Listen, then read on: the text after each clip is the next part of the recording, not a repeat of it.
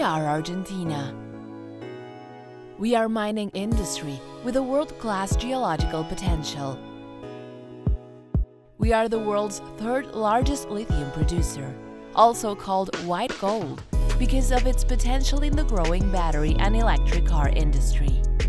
Thanks to our policies, industrial development and infrastructure, we are the country that produces it at the lowest cost. Lithium is one of the main pillars in the transition to green industrialization, based on electromobility, renewable energies, and the sustainable development of natural resources.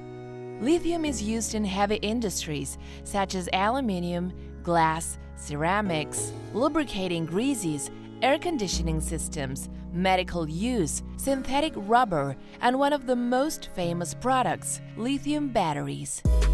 Therefore, we are an investment opportunity, an important player in the fast-growing market. We are part of the Lithium Triangle, together with Chile and Bolivia, where 60% of the planet's identified natural resource is located.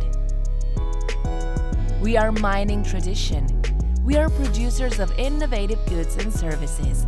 Our added value in knowledge-based economies and our intellectual capital allow us to develop and co-build projects and make customized strategic alliances. We have a present state that has sustainability policies on the social and environmental agenda. We are a land of great extensions. We are much more than a country. We are a world of opportunities. This is who we are. We are the producers of the products the world wants and the investment destination for those with a vision.